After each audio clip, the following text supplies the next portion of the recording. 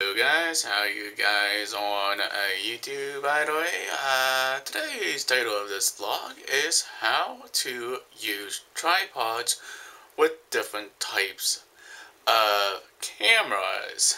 I have two Kodak cameras. I have my big old camera. I also have my small Kodak camera and I also have a Canon uh, camera as well. It also uses a different style of lens but I just wanted to show you guys on the type of tripods I use for everyday uh, picture use and also for blogging use. Uh, I don't always need a tripod for everything, but I do need a tripod for certain things because I only have uh, two hands uh, and, and taking things apart or trying to be able to fix things. I need the tripod to be there and be ready to go because that's like my uh, kind of a third uh, hand there is my uh, tripod. It's a very nice tripod. I bought it like uh, six years ago. I bought it uh, when I needed it for you guys because I noticed uh, when I was doing blogging my videos can somewhat shake a bit and I noticed that and I didn't really like that but now I'm doing a little bit uh, better quality vlogs on the tripod, making sure the tripod is not in my way, and making sure I'm not in the camera's way when I am doing certain types of blogging or certain styles of fixing and stuff. But I have a heavy duty uh, tripod. I also have a very lightweight tripod. It's designed for smaller cameras, lightweight cameras. It's not designed uh, for big heavy cameras with big giant lenses.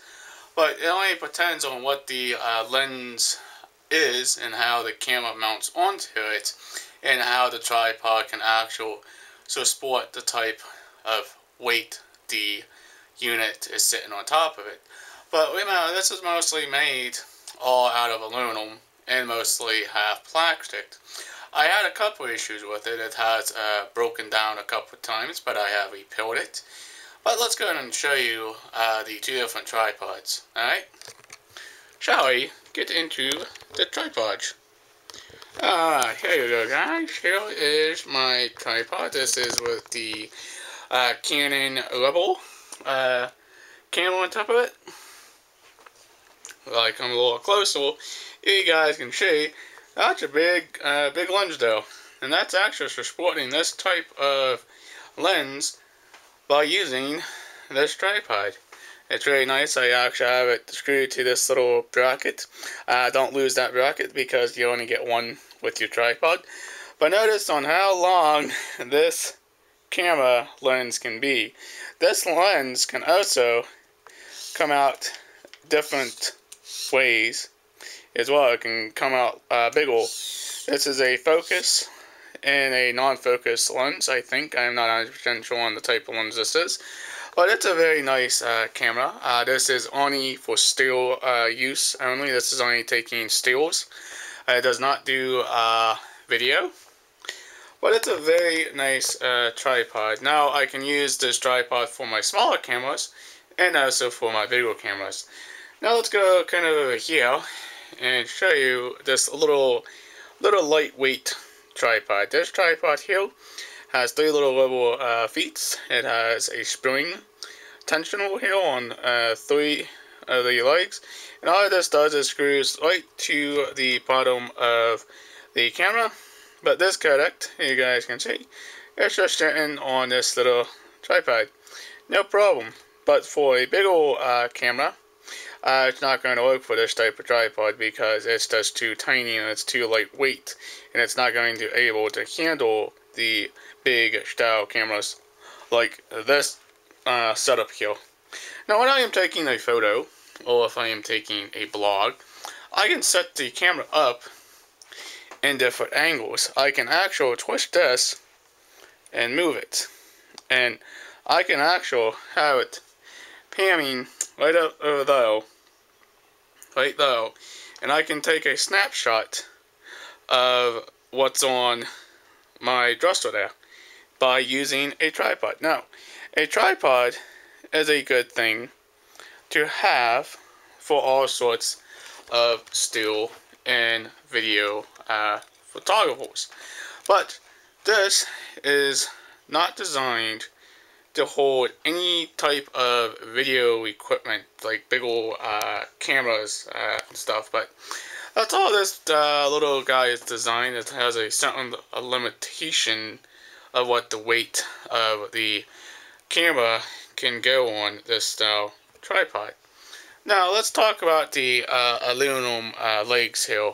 This is a three aluminum leg set, set up here. It does actually have a three crossbar uh, on now to actual uh, stabilize the tripod. But when you kind of move this around a little bit too much, it will sometimes wobble a bit, and that's normal with any type of tripod. But yeah, we have uh, three uh, little uh, little guys here. Um, I guess the sports for the uh, unit or the tripod to actually help to hold the weight of the camera. Now, I didn't pay a whole lot for this uh, tripod. I only like, paid like less than uh, 50 bucks for it because it was a pretty nice uh, tripod. Uh, that was at this time of this type of tripod I bought that day. You probably have all different tripods. It has all sorts of different functions and uh, features and everything else you can do with it. But this is all adjustable. Uh, we can adjust the height by loosening this knob right here. And by using this dial, we can actually spin this and spin it that way down. And we can also adjust this uh, for this guy. And we can also adjust the camera to actually take a sideways kind of shot. Now, I haven't done this with this type of tripod with this camera on top of it. We're going to lift this whole assembly and see if she's going to support it. Uh, the answer apparently is kind of no because uh, I'm going to have to hold it. And if I let it go, what's going to happen is the camera's going to fall down because it's just way too heavy for the uh, tripod. Now, if you're going to be using this type of tripod with this type of camera, with this type of lens, you're going to have to hold it or make the uh, screw on the back title uh, on the uh, clip itself. Now, this is a pretty uh, nice tripod. I really like this tripod a lot. But it's a very nice setup on how I take a still uh, picture. Now, we're going to unloosen the tripod clip. And, uh, oops, and we're going to uh, take the camera well, trying to take the camera out, and the hook's being a kind of a pain to come out. Just want to show you what the hook looks like. Alright, hold on guys, I'm going to shut you guys down for I can actually take the camera mount off. Or the camera itself. Apparently I can't do it one-handed, apparently I have to do it two-handed. And, you guys up. That's the tripod mount. That what screws onto the bottom of this camera. This is a universal camera mount for any type of uh, camera. Now let's go ahead and sit you guys back down real quick. And I'm going to go ahead and put this actual back on the tripod. But this is a nice uh, little camera. I really do like it. I think it's a very uh, beautiful piece of machinery here. But yes, by put, putting it like on the side, not going to work because the lens is just uh, way too heavy for the camera itself. But talking about different tripods, and the reason why I'm showing you guys these type of tripods is every tripod is built different for different style cameras. And like I said, uh, you're not going to use a lightweight uh, tripod for your uh, big uh, Canon uh, X level uh, system right here, you would have to use this type of setup. It's very nice. I really do like it. Now, the reason I chose uh, chose this type of tripod because that's what the guy told me down at uh, Best Buy uh, when I bought it for this camera because the camera type of lens on this one can also zoom out as well. Now, uh, the uh, tripod is very portable, it's very lightweight, but it doesn't come with a carrying bag. You might have to uh, design one or make one uh, for your uh, camera itself. But this is just a universal tripod. This will actually work for all sorts of different tri different cameras. And the mount will not work on different tripods. It only will work on this one because that's what it's designed for. Now, for a everyday kind of use, if you're going to be carrying this around, put that little piece in your uh, camera bag for you don't actually uh, lo uh, lose it because it's uh, very hard uh, to lose and you can't get a that one clip for it. Now this is can be used indoors and outdoors. It has spikes on the feet of the tripod as well. Um, I don't know if it's going to be good for carrying every single day because in certain areas I don't know if you can stick the tripod in certain areas of where you decide to go to a uh, say a baseball game, football game, hockey game, wrestling uh, game, that kind of stuff. Uh, because the tripod uh, may not be suited for that setup and for that needs. Now, uh, this does have spikes on it. If you want to use it outside, you can actually unscrew the rubber feet, screw them up, and uh, spike it to uh, the ground. It's a pretty nice tripod. I really do like it. If you guys recommend a tripod, just go out and buy one and see how much they cost and also see how much your camera weighs and see how much weight the tripod actually can support. And let's go and take more look at it.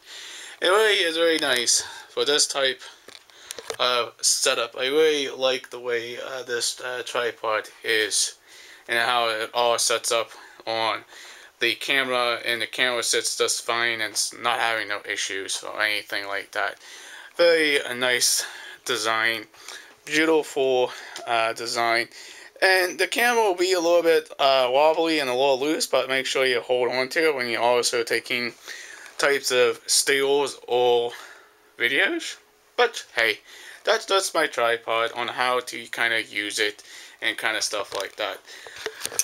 Alright guys, that's somewhat uh, my tripod setup and that's how I take all sorts of different types of pictures and also blogs uh, for you guys because I need that third hand because I only got two.